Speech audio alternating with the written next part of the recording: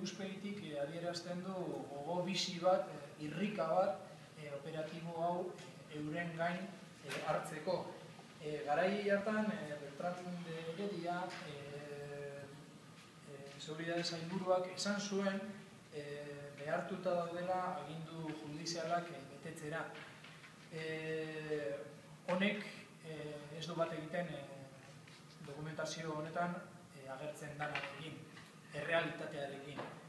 Honek frogatzen du, e, Beltran Herediak, e, besurretan e, ibili izala, eta hori argitzen zuzen ere e, eskatu dugu e, galdera idatzi e, baten bitartez e, ontsi bertan e, duguna.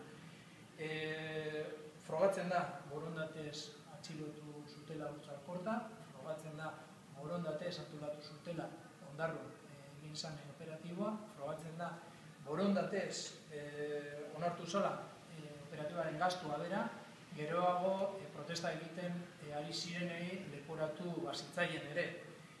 E, ezin da ulertu, ezin da ulertu eutranderidaren hitzak e, auto honek edo e, dokumentazio juridiko honek e, frogatzen duenarekin kontrastatua.